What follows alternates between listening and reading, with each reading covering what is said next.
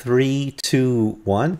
Welcome to another edition of Anglican Unscripted. This is episode 247, the hazy, hot, humid edition. It's September, and outside, nobody wants to go. I'm Kevin Carlson. And I'm George Conger, and today, September 8th, 2016.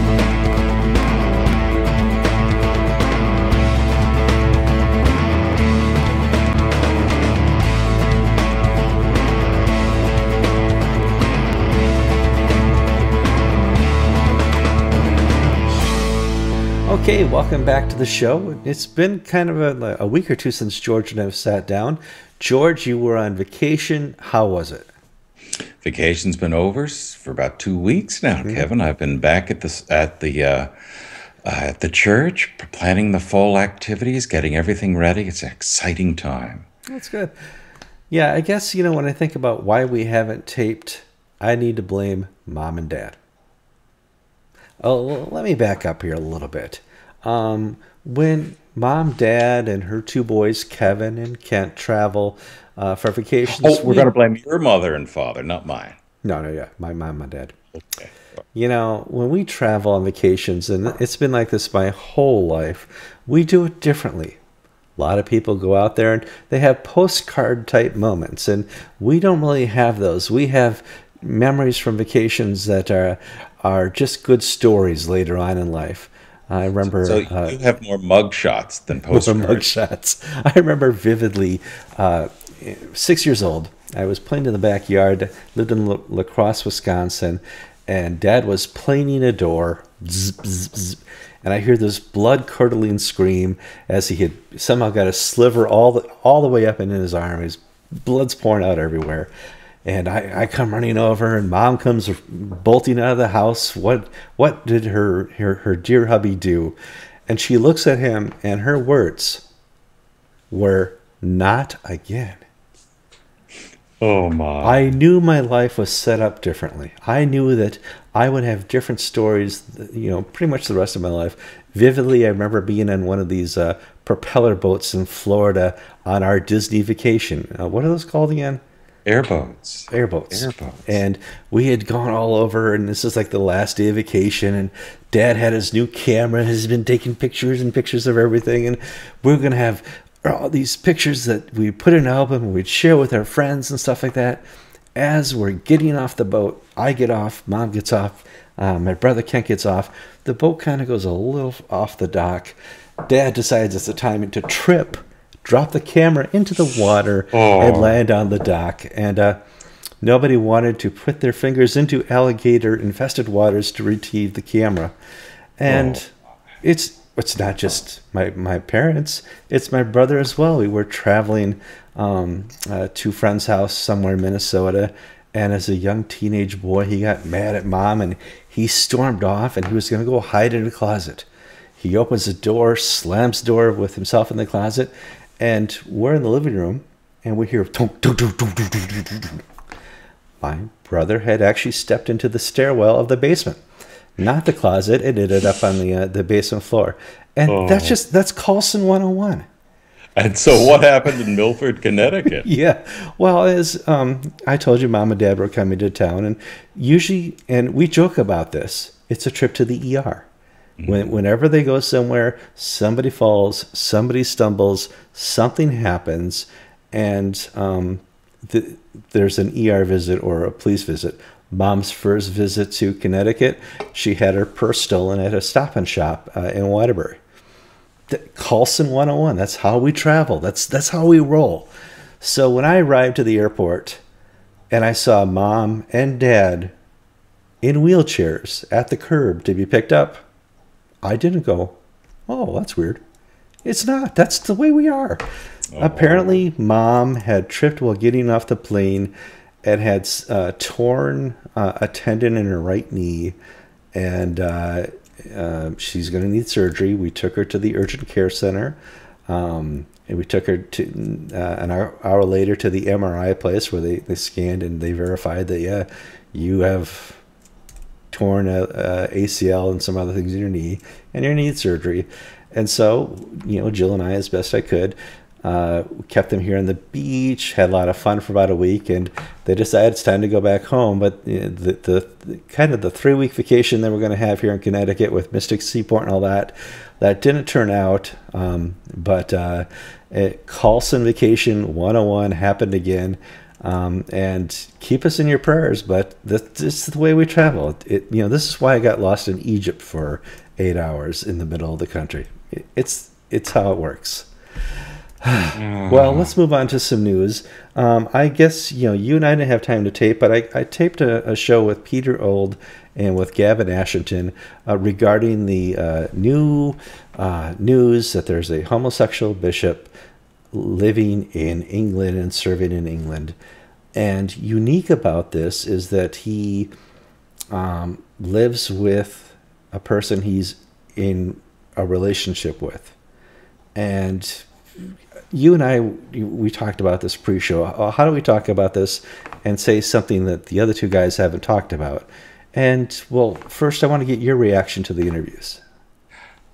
Uh, excellent. Peter Ould gave an overview of the political situation, and Gavin spoke to the moral and profound theological issues at play. And I want to pick up on one of the things that Gavin spoke about, which is the language that is being used here, because that's the problem. Uh, from my perspective, this is not new news.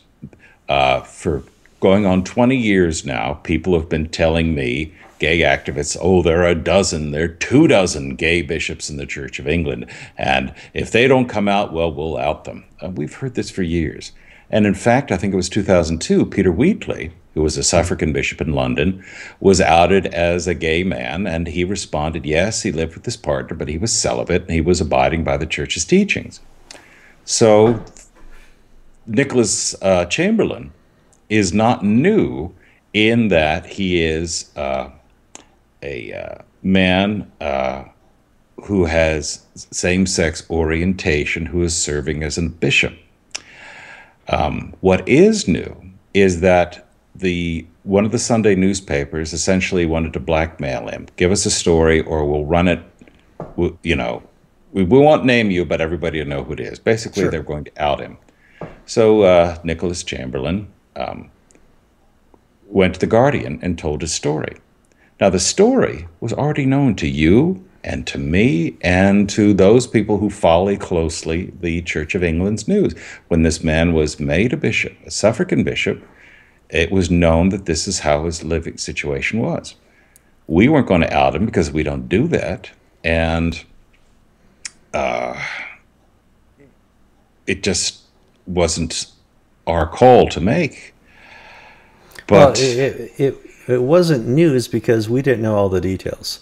Um, I, I want to put this kind of in a different perspective too. Um, if I, and thank God this will never happen, were mm-hmm. nominated to be a bishop um, I would be, you know, in front of a nomination committee, and they would go, Kevin, we want to nominate you to be bishop, and I would say, oh, thank you, that's really honorable. Um, I'm not going to make the cut, but uh, um, thank you for the nomination. They would say, I need to tell you something. I'm a heterosexual, and I'm attracted to uh, women of the opposite sex um, a lot. It, it's one of my struggles.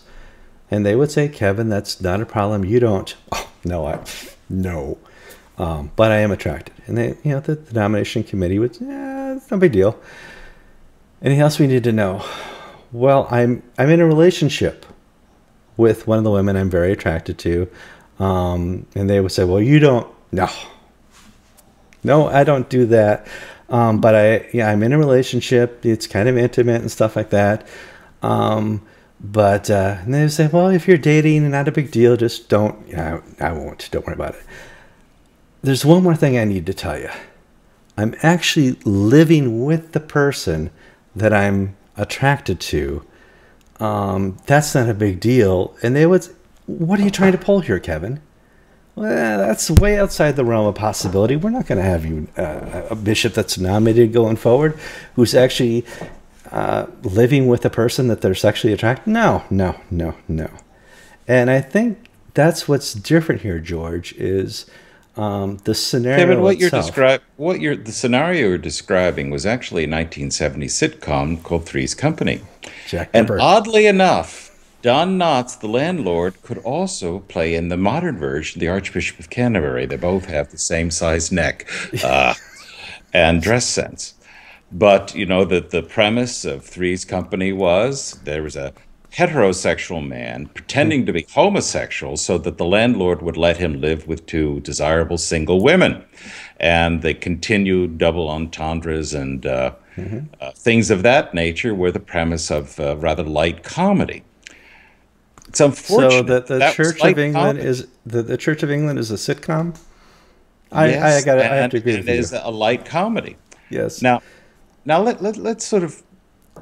There have been charges thrown out in the newspaper that conservatives are hypocrites. That uh, why, Kevin and George, if you knew this, why didn't you speak up? If everybody knew this, why was this important? Well, because inclin- uh, predilection towards sin, temptation is not sin, okay?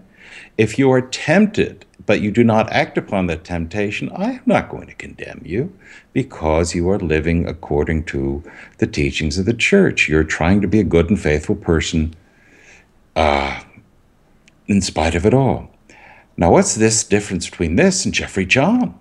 You remember the whole Jeffrey John affair? He was a gay man, he was partnered, and he too said he was celibate. And he too was appointed bishop, but Rowan Williams forced him to back down. The difference was Jeffrey John said, I'm now celibate, but I, used, I wasn't always, and I don't feel any need to repent. And in fact, I want the church to change its teachings. Nicholas Chamberlain, the Bishop of Grantham, is not propounding the church change its teachings. He's saying he's living in accordance with them. But as Gavin mentioned, the problem is the man's vocabulary. He self identifies with gay as being gay.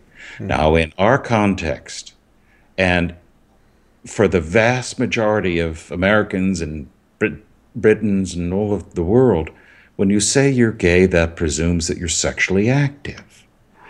Now, to say that you're gay and celibate uh, is almost if we're going to go into the a, to the world of sitcoms, it's like saying that you're uh, a sadomasochist but nonviolent. Um, it we need their definitions of terms do not conform with reality. What does it mean to be gay? It does it mean to be sexually active? Does it mean Right, right now, people are thinking there's a uh, earthquake going on in Florida. You, you're, you, you're kicking your desk. So let's no, sit no, up no, straight. the cat, the Oh, cat. the cat. Okay. It was the cat who came out to tell me that uh, it's time to go outside. Oh, okay. And you slouched a little in the last couple minutes. A little higher. There you go. Yeah, that's it. This is a, people don't know this. This is our second taping, and we're we both kind of by the second taping we're a little casual. So, and I, we we have to agree the definitions here are are undefined. Yeah. I, what does he mean by gay? What does he mean by relationship? What does he mean by yes, he's living with uh, a person he's partnered with? You know, uh, because It- it's part of and it's part of a wider problem in Western culture of the destruction of male friendship. No one would have. Perhaps there are a few kooks who would presume that uh, Sherlock Holmes and Dr. Watson, Dr. Watson were gay because they lived together. They were two unmarried men, and you know the new the new reincar- reincarnation of that TV series, Sherlock, that has one of the running jokes. People assume that they're gay because they live together and they're not. Um, yet the culture is moving so that male friendship is being cast in terms of genital sexual relationships. And was it wise for the Bishop of Grantham to describe himself? Was it wise for the Archbishop of Canterbury to go forward in the midst of this t- difficult time without having these things understood and cleaned up and straightened out? And that's where I think the big mistake was made. We, we talked about uh, uh, Jeffrey John, and you know, Rowan Williams said, "Hey, I have been known to agree with the the, the uh, gay agenda, but my uh, duties as Archbishop outweigh that." Mm-hmm. The office is more important. The doctrine of the Anglican Communion and holding it together for the right reasons um, means that I need to ask you to step down. And he did. He, he mm-hmm. was he stepped down. Archbishop Welby has a different idea here because all this was hidden. Mm-hmm. Um, and in hiding all this, you've created um, a place within a, a, church now where nobody trusts anybody. You, you've lost that, that realm of trust. How much do I trust the Archbishop of, of Canterbury now? Um, not very much because he's willing to hide things um, that we would find unpleasant in the communion. That's not mm-hmm. how it works. We're and transparent. It, we're open. And is it healthy to have a situation where there are a dozen purportedly gay bishops in the Church of England that gay activists know all about, that you and I know some of these people, who are teaching and preaching and deliberating on these issues without declaring their interests, without sort of a clarification? Now, David Hope, for instance, the former Archbishop of York, famously said his sexuality was a gray area. Mm-hmm. Um, what? So is, this is not a new issue, but I think that the church, this the old boy system of promoting people who won't rock the boat, who are like us. Well, it's his turn, and you know he's part of our group. Has not served the church well. It's yeah. it's created a it's created a culture of factionalism and cliquishness, and okay, we need to have twelve women bishops, so we'll not choose people who are called to be bishops, but the next 12 slots we'll give to women. Sure. Uh, we need to have so many gay celibate Anglo Catholics. Okay, it's their turn. Um, when you play that sort of game, you're not really being faithful to Christ's teaching as it's outlined in the New Testament what a bishop is. You're playing identity politics. You are. It's one of those interesting things because we currently have the situation where you approach and go, How did he become a bishop? When in reality, you should be looking at a person and say, Of course, he's a bishop that's the difference that really exists when we look in the New Testament for a person who is above reproach. Um, and, you know, we need to start doing that a- again in the church. Uh, what, George, we're up against uh, our, I, our time I, limit here. Okay, quickly, sure. Just want to add, what makes it even more difficult is that evangelicals like me regard bishops as necessary evils. In other words, bishops are something, well, we should or should have them. So, but the a minister's job is focused on the parish level, so that um, and that focus of importance. Uh, why is uh, Nicky Gumbel not a bishop? One of the most outstanding priests of his generation. Well, because he's an evangelical and his focus is on what is important to him is different than what is important to the company men who make up the vast majority of bishops of the Church of England. So my team doesn't help the situation by spurning uh, the office or by downgrading its importance, while some of the other players in this uh, game put too much importance into it. Um, at, well, it's screwed up. How's that? It is, of course, it is. That's why I enjoy that. You know, like the places like the uh, American Anglican Council are teaching again what it means to be a bishop. I think that's going to be a helpful ministry because over 2,000 years, we have certainly forgot. Okay, we just pushed 18 minutes. Guys, go enjoy your weekend. I'm Kevin Carlson. And I'm George Conger, and you've been watching episode 247 of Anglican Unscripted.